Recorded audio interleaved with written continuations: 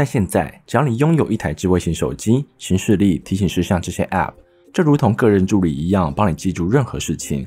但我们为什么还是在下班时忘了买一瓶牛奶呢？我是 Vincent，欢迎回到文森说书。总是代办的清单，我们多半都会在通勤途中或是刷牙时突然想到：哎呀，我的电话费还没缴，或是生活中林林总总的琐事。最常见的应对措施就是依赖自己的记忆能力。相信自己待会一定会记得，而最后呢，直到你的手机不能在上网时才再度响起。后来我们从这些经验中学到了教训，我们将一切该被完成的事托付给行事历以及代办事项。从理性的角度来看，上述这种健忘的问题理应被歼灭才对，但事实却不是如此。我们还是容易在办公室里被同事追杀某个忘记提交的报告，我们还是忘了买伴侣唠叨一整天的妻子蛋糕。渐渐的。我们活在一个看似掌握之内，但却又失控的生活作息里。今天我所参考这本书《Getting Things Done》，中文书名《搞定》，作者自行绘整出一套名为 GTD 的清单整理系统。而这套系统想改善的问题有二：第一个，随意捕捉到的想法难以追踪。在过去，我们通常是想到某件该被完成的事，接着再将它塞入我们的行事历当中。嘿，Siri，晚上七点提醒我要去洗衣店拿衣服。可这样的做法存在几个缺点。首先是我们大部分的例行公事基本上都是大计划中的一个小步骤，好比我们必须在周四下班之后去购买最新的托福参考书。这个例行琐事的最终目的，可能是你想让自己的英文能力变成职场竞争力，或是你最终想到国外进修。为了完成这项大计划，必定会有像是周末准备考试、跟学姐聊考古题等等的步骤。购买参考书只是其中之一，但当我们总是想到什么才塞进去行事历时，我们就无法一次拟定这项大计划中所有该被执行的步骤。第二个缺点是，将零零散散的任务分别塞进去待办事项时，我们很难在往后去追踪这项任务的进度。就好比一间连锁餐厅正在举办某个促销活动，天母分店有自己的计算活动绩效方式，上海分店又有自己的计算方式。等到总公司想在季末检讨这次活动时，资料就难以同整。而 GTD 系统想解决的第二个痛点是，光是想到是远远不够的。稍微回顾一下我们过去记录代办事项的习惯，你可能会发现，我们总是用着精简到不行的方式在记录。好比药局买口罩，妈妈空白生日礼物，主管逗点回信，这样的记录方式能做到的效果，最多只有帮助你记得，但却少了让我们去思考这些任务本质的机会。基于以上几点，接着我会用健身当成范例来分享 GTD 这套系统该如何被应用。搞定。盖瑞的腰围与他的工作年资呈现正相关。在盖瑞还没有遇到喜欢的女孩子之前，他不把这个当一回事。但现在不一样了，某位女孩子的出现让他决心改善自己的体态。于是他拿起一张 A4 纸跟一支原子笔，开始撰写他的健身计划。首先他需要做的便是捕捉。这过程可能需要个三十分钟，也可能需要两个小时。盖瑞需要尽其可能的把所有跟健身、瘦身相关的想法一一写在名为“收线匣”的栏位里。在这个阶段，盖瑞不需要为每件事排定优先顺序，也不需要考虑该被完成的日期，他只需要在脑中捕捉想法就可以了。时间滴答滴答的过去，现在收线匣里已经写满了数十个待办事项。紧接着，盖瑞需要去判断这些想法是否需要去行动。例如打电话向健身房询问瘦身课程，这就属于需要行动的；而像是考虑是否购买白金会员这种，就属于不需要行动。我们可以为这些不需要行动的想法建立一个名为“将来也许”清单。这清单中可以囊括那一些就目前来看可能不重要，但未来会有帮助的事。例如某一间食品公司推出的生酮套餐，或许盖瑞可以在培养出运动习惯之后搭配着一起食用。但就目前来看，这个想法还不需要处理。将来也许清单的存在是为了让我们可以不必现在马上做出决策，当我们很确定自己把这些想法都存放下来了。如此一来，这种安心感会让我们的大脑腾出更多余裕来思考目前重要的决策。讨论完非行动的想法之后，我们将焦点拉回到需要行动的想法。我们现在需要做的就是判断出这个想法是否能够在两分钟内马上完成。如果可以，就马上去搞定它们。例如是打电话预约下一堂免费课程。或是询问某个朋友过去的健身经验等等，会有这样的设计，是因为倘若在未来持续追踪这件事情的成本高过现在马上去做的成本，那我们就该马上去完成它，而不是让它留在待办事项中。到了这边，我们收线匣当中还没有处理的，就只剩下那些需要行动，而且不能在两分钟内完成的。我们将这些想法倒入待处理当中，并准备替这些想法找到所属的列表。我要一次打十个。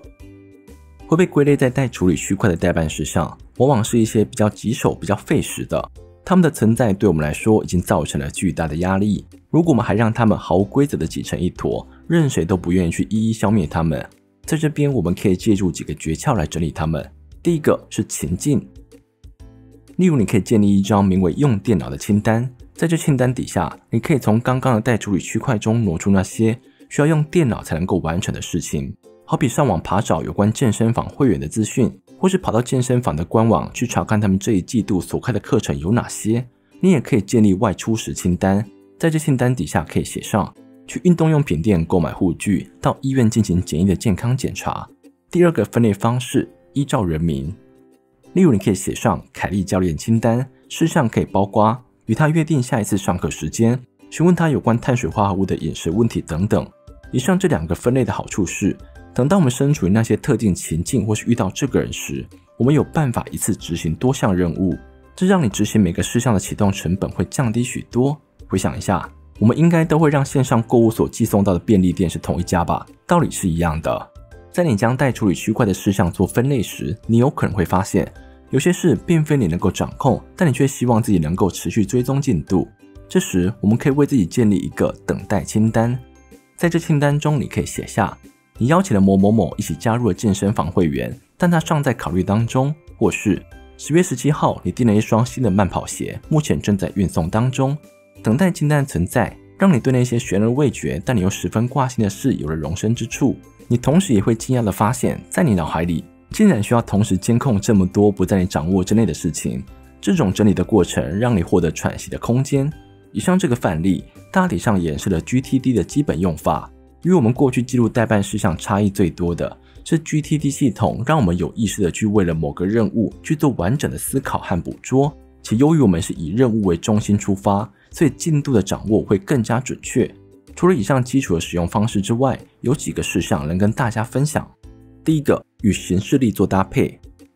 如果某个事项是具有时间限制的，例如泰拳课程的报名截止日，或是优惠活动结束日等等。我们理应为这些事项加上完成时间，并将之与行事历同步。市面上有许多软体都可以做到这一点，例如 Notion、Taskad、Google Notes、Evernote 等等。这些软体几乎都有付费选项，但要完成清单跟行事历同步，往往在免费功能内就可以达成。第二个，尽可能详述每个代办事项。就像前面所讲到的，我们若是用太简洁的方式在记录代办事项，相对而言我们会少了思考的机会，所以在往后。你可以从过去的主管逗点提交报告改成，因为这一季度新开的专案，我在验证完可行性之后，需要向主管提交一份报告，等待这份报告通过之后，就可以开始跑专案了。这种改变可以让我们每次记录时都思考一下例行任务跟目标之间的关系，我们甚至还可以因此想到其他该做的事情。第三个，工作跟私人都需要搞定。许多背负极大压力的上班族，他们大多都会认为。这些负荷一定是来自职场，但有些时候可能刚好反过来，恰恰是因为他们没有将自己的个人生活整理完善，以至于他们在工作时还在被非工作范围内的个人琐事侵扰，最后工作表现不彰，以至于压力升高。所以请记得，好的任务管理系统不仅是居家旅行必备良药，在家里头放几罐也是不错的。最后呢，我想说一下我自己的感想，在开始读这本书的第一天。我就为自己的某几个任务开启了所属的 GTD 系统，但在不久之后，我发现个有趣的改变，那就是我的系统变得简单许多。可能是我变懒了，也可能是个性使然，我不管。反正这套系统从原本像是树枝分布，变成一张又一张的清单，我最后保留下来的就只剩下将来也许清单、等待清单、各种情境的清单。